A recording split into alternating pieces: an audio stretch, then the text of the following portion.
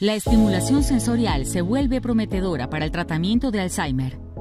Una reciente investigación ha demostrado que los estímulos a las ondas cerebrales gamma podrían ser efectivas como tratamiento no farmacológico para los pacientes con Alzheimer.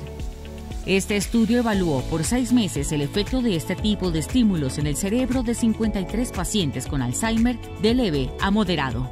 La enfermedad de Alzheimer es el tipo más común de demencia y es un trastorno neurológico progresivo que hace que el cerebro se encoja o atrofie y las neuronas cerebrales mueran.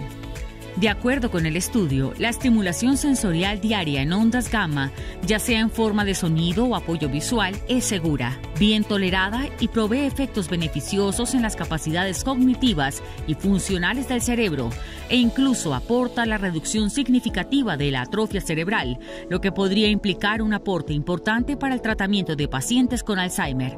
Las ondas gamma van desde los 25 a 100 Hz y aparecen en estados de vigilia.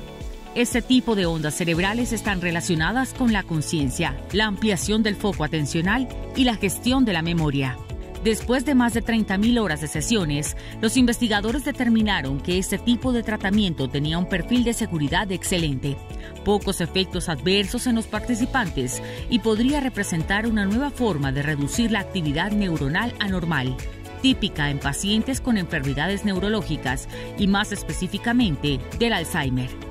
Para conocer más sobre este tema, manténgase conectado con Medicina y Salud Pública.